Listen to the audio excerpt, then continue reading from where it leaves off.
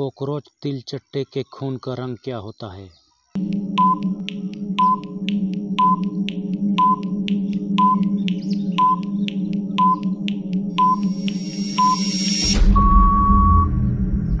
सही जवाब है सफ़ेद